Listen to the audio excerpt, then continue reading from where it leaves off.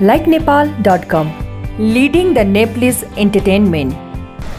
नमस्कार म गायिका निरु कार्की। आउँदै गरेको हरितालिका तिजको सम्पूर्ण चेलबेटीहरूलाई शुभकामना।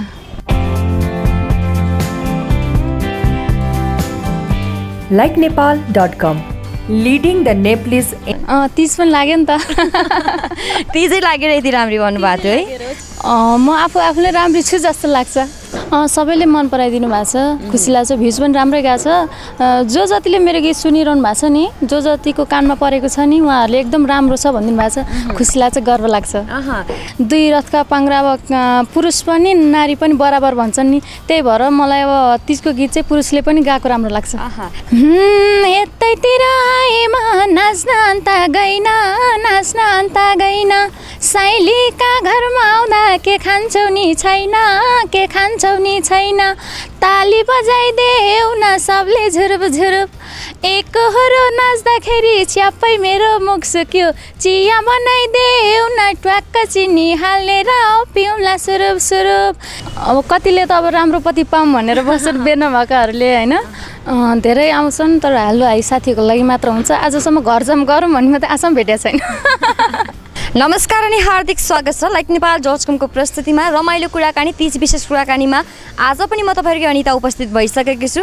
रमाइलो कुराकानी तिज विशेष कुराकानीमा आज हिमाज हुनुहुन्छ लोकदोरी क्षेत्रकी गायिका हुनुहुन्छ निरु कार्की। आउनुहोस् उहाँसँग रमाइलो कुराकानी सुरु गरौँ। स्वागत छ निरुजी लाइक नेपालमा। नमस्ते। आराम हुनुहुन्छ? अँ, एकदम ठिक छु। एकदमै राम्री भनेर आउनु भएको छ अँ, तिज पनि लाग्यो नि त।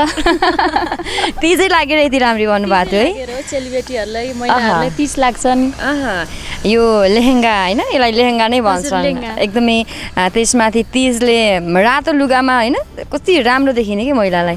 आफूलाई कतिको राम्रो लाग्छ? म आफू आफूलाई राम्री छु जस्तो लाग्छ। झन् झनै रातो कपडामा है। मेरो त झन् फेभरेट कलर रेड हो। झन् एकदम राम्रो मनपर्छ। आफूलाई एकदम राम्री जस्तो लाग्छ आफूलाई। यो हुन्छ नि तपाईँलाई राम्री आफूलाई लाग्छ? प्रशंसा कतिको पाउनुहुन्छ तपाईँको रूपको? पाइन्छ। कहिले राम्रो भन्छन् कहिले नराम्रो। राम्रोलाई राम्रो भनिदिन्छन् नराम्रोलाई नराम्रो भनिदिन्छन् अहँ, तपाईँ राम्री हुनुहुन्छ राम्रो मान्छेको प्रशंसा गर्नु पर्यो होइन? त्यसमाथि प्रशंसा गरेपछि स्वीकार्नु पनि पर्यो। हजुर।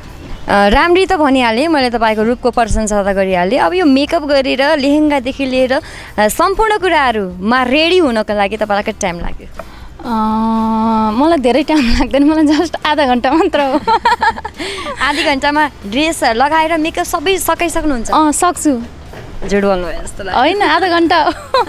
किन झुट बोल्ने होइन आधा घन्टा मात्र हो। केटी मान्छेहरू अलि नक्कली पर्नलाई टाइम लाग्छ अरे होइन? अब ड्रेसअपदेखि लिएर मेकअप गर्नको लागि भनिन्छ होइन? अब चुडादेखि लिएर टिकादेखि लिएर सबैमा सजिन चाहिँ केही टाइम लाग्यो कि भन्ने हाम्रो मान्यता।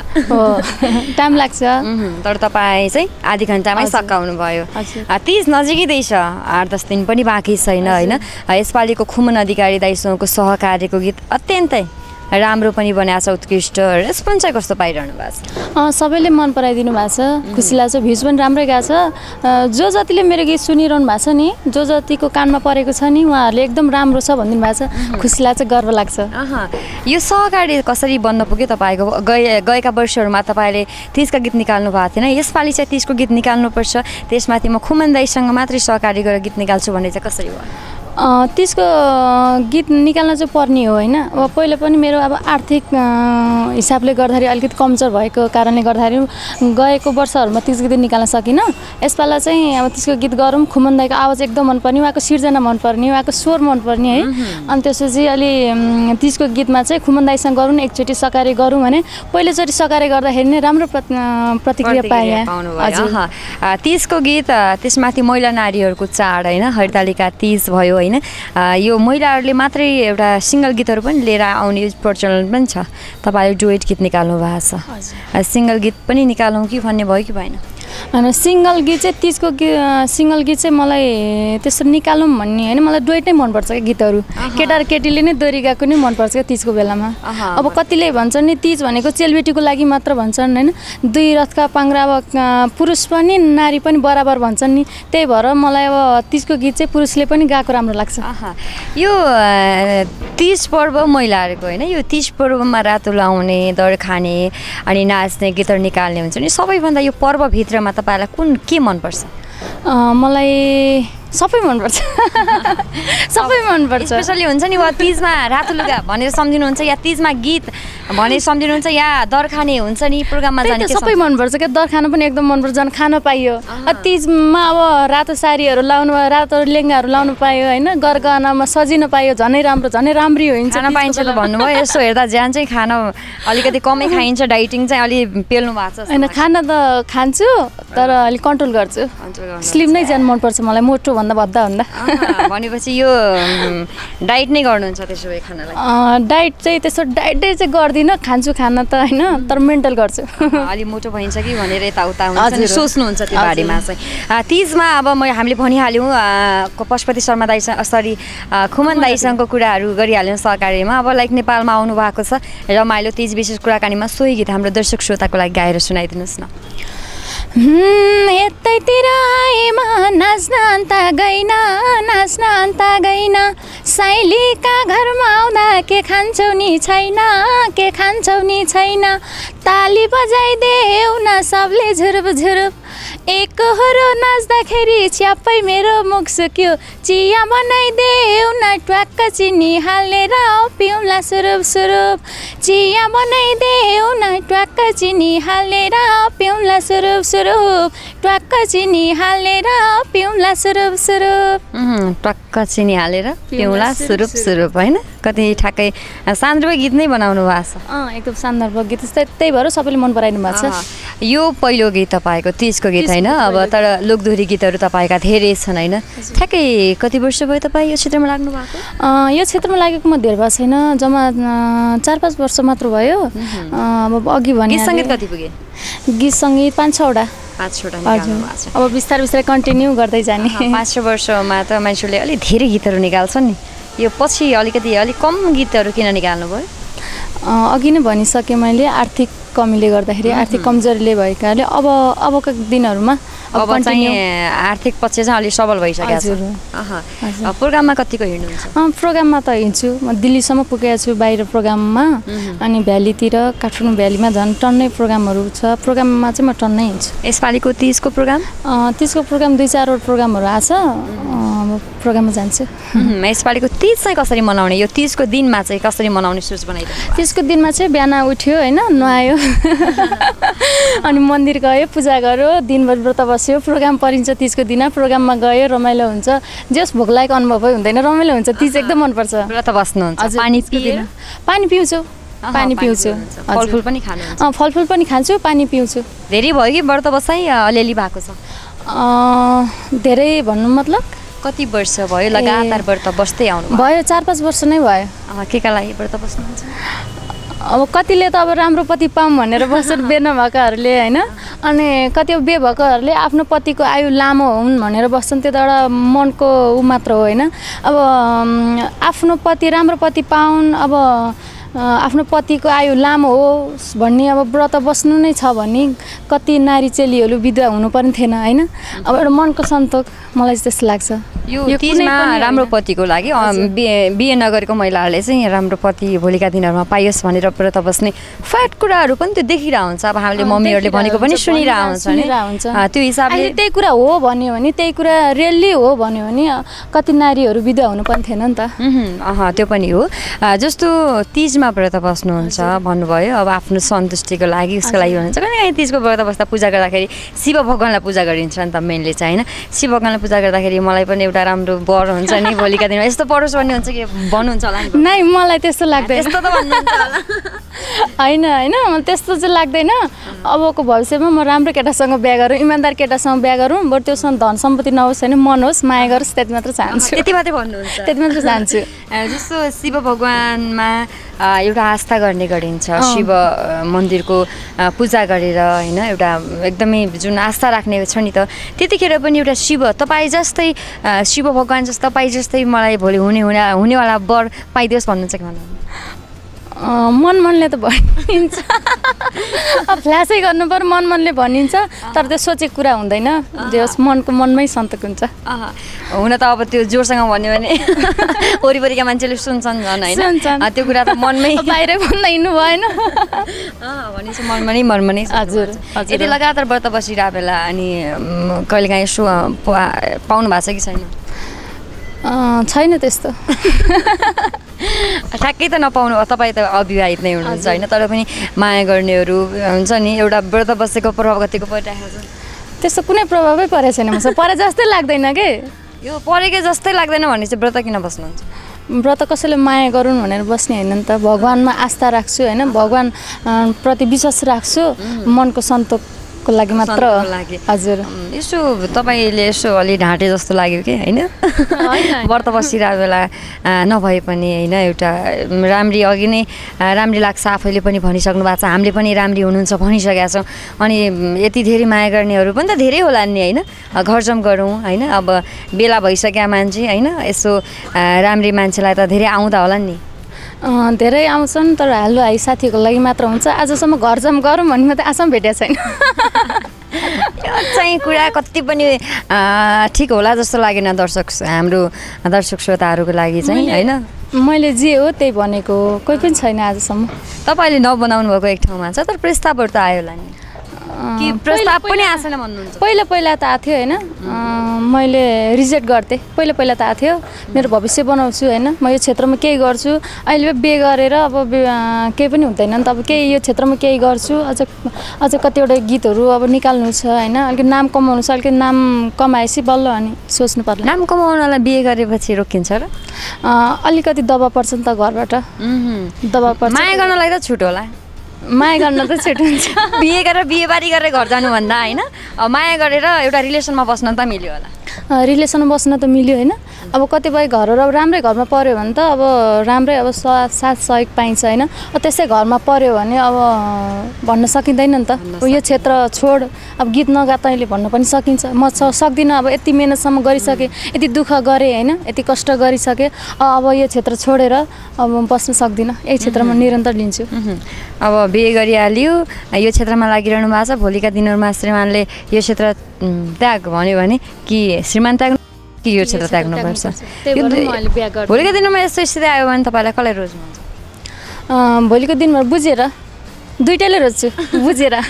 जस्तो तपाईँ लाइक तपाईँको श्रीमान चाहिँ भोलिका दिनहरूमा एक न एक दिन त बिहे गर्नुहुन्छ तर भोलिका दिनहरूमा तपाईँको लाइक त्यस्तै श्रीमान परिदिनु भयो होइन। अब गीत नगाऊ अब घरमा बस्ने होइन? अब अब यताउता हुन्छ नि म्यानेज गर्ने भन्नुभयो होइन। तपाईँ यो क्षेत्रमा यस्तो लागिरहनु भएको छ भने त्यस्तो स्थितिमा चाहिँ तपाईँ कसलाई समर्थन गर्नुहुन्छ? पक्कै पनि मलाई यदि उसले साँचो माया गर्छ भने यस्तो भन्दै भन्दैन होइन? अब दुइटाले अँगाल्नुपर्छ आफूले ह्यान्डल गर्नुपर्छ। म्यानेज गरेर मिलाउनुहुन्छ। अह अति राम्रो विचार होइन। त्यस्तै भोलिका दिनहरूमा त्यस्तै मान्छे श्रीमान तपाईँको परोस् शुभकामना छ। सिन्धुपाल्चोककी छोरी हुनुहुन्छ तपाईँ होइन? काठमाडौँबाट केही घन्टामा पुगिहालिन्छ जस नजिकै पनि छ होइन? कति वर्ष भयो तपाईँ सिन्धुपाल्चोकबाट काठमाडौँ आएर सङ्घर्ष गर्दै अँ, काठमाडौँ आएको त म त आठ नौ वर्ष नै भइसक्यो। धेरै दुःख गरेँ धेरै कष्ट गरेँ। धेरै कस्ता कस्ता दुःख गर्नुभयो? पहिला सुरुमा आउँदाखेरि फाइनेन्समा काम गरेँ है। फाइनेन्समा बजार मार्केटिङमा गरेँ। एकदम गाह्रो भयो गाह्रो भएर स्यालेरी पनि धेरै नहुने काठमाडौँ ठाउँमा महँगो छ होइन? अब धेरै गाह्रो भएर अनि मैले छोडेको। अनि छोडेर अनि यो क्षेत्रमा अनि कलाकार बन्न एकदम रहर थियो कि पहिलादेखिबाट गीत सानैदेखि एकदम मन पर्ने गाउँमा हुँदा पनि मादल बजे सुन्न नहुने। अब गीत गाउन त्यति आउँदैन थियो होइन? अब नाच्न जाने नाच्थ्यौँ गाउँथ्यौँ एकदम मन पर्थ्यो। अनि यो क्षेत्रमा अनि बल्ल। सिन्धुपाल्चोकबाट गायिका बन्छु भनेरै तपाईँ काठमाडौँ आउनु भएको हो कि? गायिका बन्छु भनेर होइन गीत गाउने रहर चाहिँ थियो यहीँ आएर बनेको भनेपछि तपाईँ सिन्धुपाल्चोकबाट गायिका बन्छु भनेर चाहिँ आउनु भएको थिएन। के का लागि आउनुभएको तपाईँ काठमाडौँ? काठमाडौँमा केही जब गर्छु होइन सानोतिनो केही जब गर्छु जब गरेर अनि पढ्छु भनेर आएको पढ्छु एउटा सानैदेखि गाउने मान्छे त गायिका बन्छु भन्ने सपनाले आउनुपर्ने नि। सपना त हुन पर्ने तर भएन। भएन। यहीँ आएर पुरा भयो। एकाएक एकाएक एकाएक तपाईँलाई गायिका कसरी बन् बन्न सफल हुनुभयो? म सुरुमा एकजना दाइलाई चिनेको थिएँ। उहाँले नै मलाई मैले के भन्नु भने मलाई एकदम गीत गाउने रहर छ। कसरी गीत गाउने होला कहाँ गएर गाउने होला भनेर भन्नुभयो। उहाँले एउटा सानो दोरी साँझमा लगाइदिनु भयो है। बालकुमारी छ त्यो दोरी साँझ। त्यो दोरी साँझबाट कन्टिन्यू मेरो सुरु भयो है। अनि दुई तिन महिना जति मैले त्यहाँ सिकेँ सिकेर अनि दोरी साँझबाट नै सुरु भयो मेरो। भनेपछि तपाईँ दोहोरी साँझमा पुग्नुभयो जब। गर्न। त्यहाँ अब गाउँदा गाउँदै यताउता तपाईँ जोस् यता पुग्नुभयो।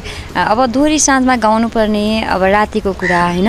अब यताउता हुँदा सङ्घर्ष त धेरै गर्नु पऱ्यो दुःख कस्ता कस्ता पाउनुभयो तपाईँ त्यो सङ्घर्षको पिरियडमा?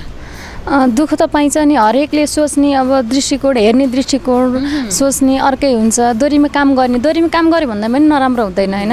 कुनै मान्छेहरू बाध्यताले पनि दोरीमा काम गरे हुन्छ। कुनै मान्छेहरूले रहरले काम गरेको हुन्छ। खानु पर्यो काठमाडौँ ठाउँमा होइन दोरीमा साँझ काम गर्ने बित्तिकै नराम्रो हुँदैन। धेरै अब कतिले फलाना यस्तो उस्तो भने तापनि त्यो कुरालाई मलाई मतलब लिएन मनमा राखेर होइन? उसले मलाई के भने अब कसैले खुट्टा तान्छ भने उसले मलाई यस्तो किन भन्यो भनेर मैले कदापि त्यस्तो भनेन क्या बरु आफू नै सङ्घर्ष गर्न सिकेँ क्या आफू कसरी अघि बढ्ने तिनीहरूको अगाडि गरेर देखाउँछु भन्ने। हजुर। काठमाडौँमा एक्लै आउनुभयो तपाईँ? एक्लै बस्नुभयो? होइन मेरो फुप दिदीको छोरीसँग बसेको। हजुर। जस्तो राति काम गरेर जुन त्यो स्यालेरीले मान्छेलाई हिँड्नको लागि एउटा कोठा भाडा तिर्नको लागि खानको लागि सम्पूर्ण पर्थ्यो तिर्नु पर्थ्यो होइन? कतिको त्यतिखेर चाहिँ त्यो हिसाबमा अनि मान्छेको हिसाबले त भनिहाल्नु भयो होइन? त्यसमा चाहिँ अगाडि जीविकोपार्जन गर्दाखेरि चाहिँ एकदमै बिर्सनै नसक्ने कुनै छन् त्यस्ता तिनी यादहरू।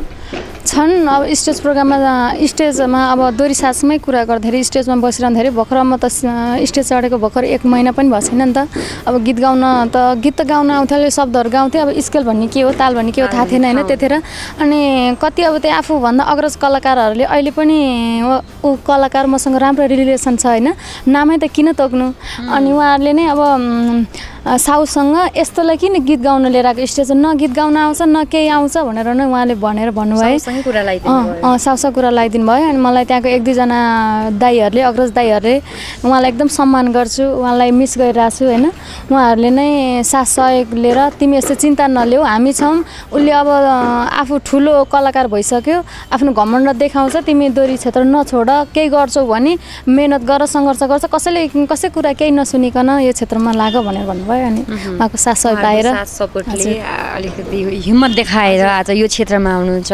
राम्रै गीतहरू निकाल्नु भएको छ होइन? अब तिजकै बेला छ रमाइलो कुराकानी होइन? अब तपाईँको तिजको गीत एउटा मात्रै छ।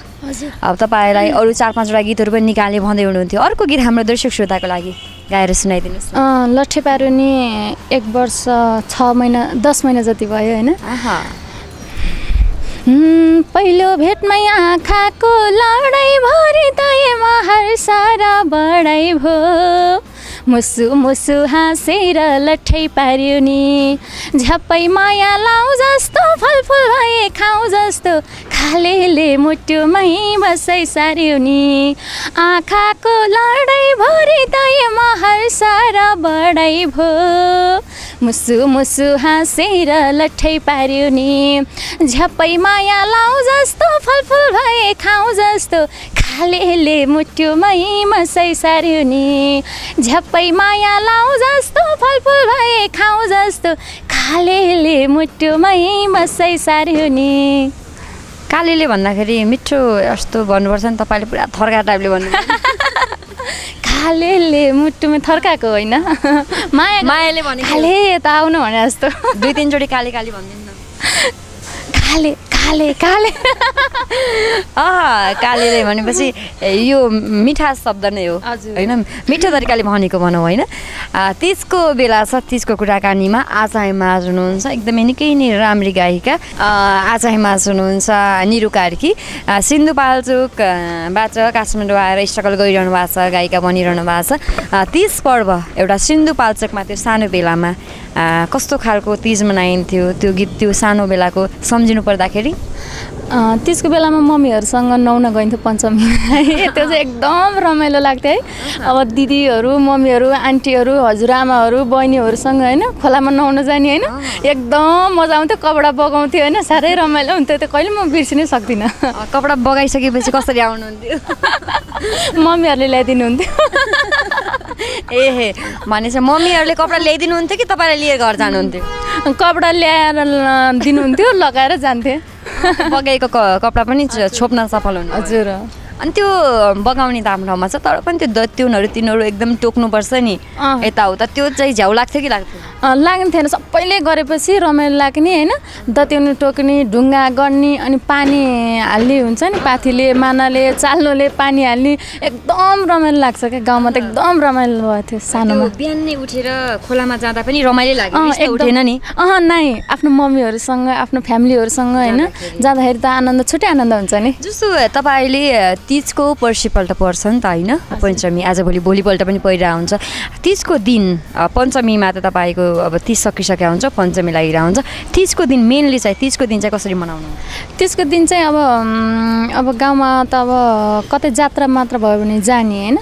तर त्यसको दिनमा चाहिँ म त्यति जाँदैन थिएँ जात्राहरूमा होइन। अनि दर्खाने कुरा गर्दाखेरि मम्मीहरूले राति उठेर दर्खान हुन्थ्यो। हामी त मस्त सुत्रा हुन्थ्यौँ क्या। कहिले उठ्थेँ दर्खान कहिले उठ्दैन थिएँ।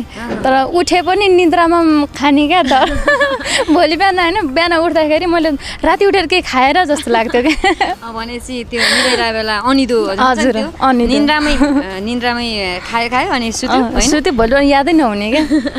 अह भनेपछि एकदमै रमाइलो हुन्थ्यो। जस्तो घर परिवारसँगै तिज मनाउनु नमनाउनु भएको चाहिँ कति भयो? भयो छ सात वर्ष नै भयो। छ सात वर्ष। कतिको मिस गर्नुहुन्छ त्यो बेला? अँ धेरै मिस गर्छु पञ्चमीमा पनि जानुहुन्न तपाईँ? अँ, जाँदिनँ यतै काठमाडौँमै मनाउँछु। तर धेरै मिस गर्छु म। एकदम मम्मी- फोन गर्छु। घरमा को को हुनुहुन्छ? सबै हुनुहुन्छ। मेरो मम्मी हुनुहुन्छ मेरो बाबा हुनुहुन्छ मेरो दुइटा दाई हुनुहुन्छ दुइटा भाउजू हुनुहुन्छ। कान्छी तपाईँ? दिदी हुनुहुन्छ अनि कान्छीमा।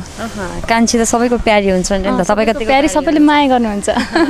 गीत सङ्गीतलाई पनि सपोर्ट गर्नुहुन्छ सपोर्ट गर्नुहुन्छ माया गर्नुहुन्छ। सुरुवातीकै दिनहरूबाट तपाईँले घर परिवारको सपोर्ट पाइरहनु भएको छ। सुरुमा त मेरो घर परिवारबाट त पाएको थिएँ तर समाजबाट चाहिँ यस्तो छिछिर धुतु गर्ने हुन्थ्यो होइन? छिछिर धुतु उनीहरूले अब फलानाको छोरी यस्तो उस्तो भनेपछि अब पहिला त अब गीतहरू एल्बमहरू गरेको थिएन। त्यतिखेर धेरै होच्याएर बोल्ने होइन? खसालेर बोल्ने अब समाजले त्यस्तै त हो नि होइन? गाउँमा। अनि त्यसो गर्थेँ जब म अहिले यो क्षेत्रमा यहाँ आएँ निरु कार्की भनेर सबले चिन्न थालेँ होइन? यहाँ यहाँ आएपछि अनि अहिले चाहिँ सबैले हाई हाई गर्छन्। भनेपछि त्यो बेलाको गाउँमा जाँदाखेरि तपाईँ जानुभयो नि त यहाँ काठमाडौँबाट त्यतिखेर चाहिँ जेस अपहेला नपाउनुभयो उम्, अरूको ठाउँबाट अह। अहिले चाहिँ जे सबैले सम्मान गर्नुहुन्छ माया गर्नुहुन्छ। सबैले सम्मान गर्नुहुन्छ माया। गर्नुहुन्छ। यसपालिको तिज त भनिहाल्नुभयो काठमाडौँमै हुन्छ घर नजाने। घरमा नजाने यतै मनाउँछु। प्रोग्राम पर्छ यतै मनाउँछु। व्रत बसेर यसो राम्रो वरहरूको लागि फेरि पुकार्ने। अर्कोचोटि आउँदाखेरि हजुरले भनिहाल्नु भयो अब यसपालि चाहिँ मन्दिर जाँदाखेरि म पुकार्छु कोही बर आउँला नि।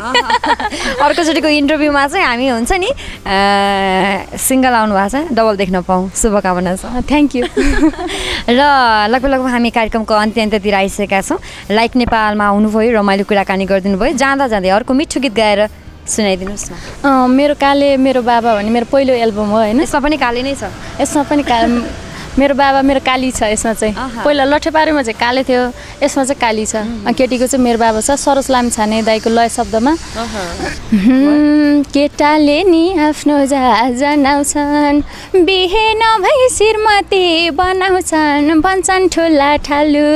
केटा पनि लपर नै नपाउँदै भन्न थाल्छन् कालु। हे केटी पनि छन् नि हे फसाउन नि जान्ने हे श्रीमती झैँ ठान्ने हे केटी पनि छन् नि हे फसाउन नि जान्ने हे बोल्न साथै घरकै श्रीमती झैँ ठान्ने उहुँ, बिहे नगर्दा श्रीमती चाहिँ ठान्ने भन्नुभयो होइन?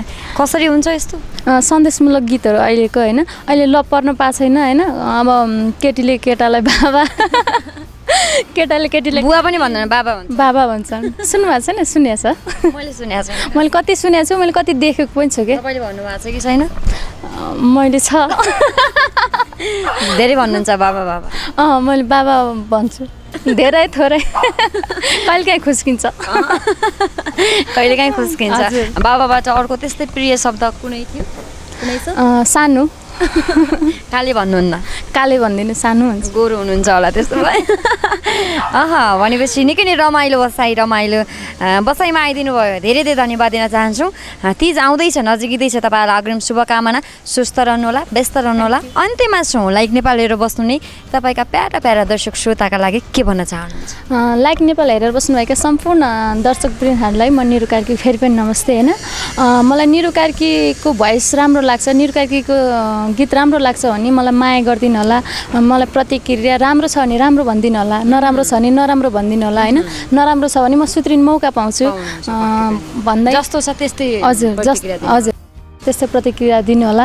अ, भन्दै अहिलेको लागि नजिक आएको हरितालिका तिजको सम्पूर्ण चेलीबेटीहरूलाई फेरि पनि ह्याप्पी तिज भन्न चाहन्छु। थ्याङ्क यू सो मच तपाईँको। अमूल्य समय नमस्ते।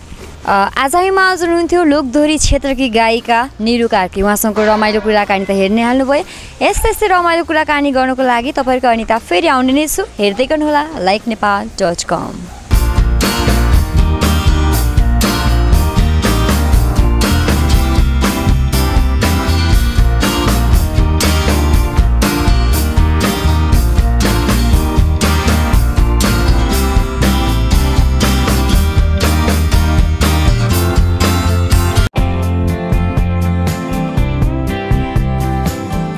likenepal.com leading the Nepalese entertainment